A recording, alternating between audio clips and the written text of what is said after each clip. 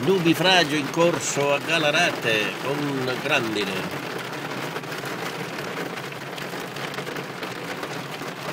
Oggi è domenica 19 maggio.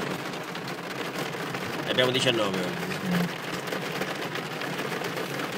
Ore 18 e qualche cosa.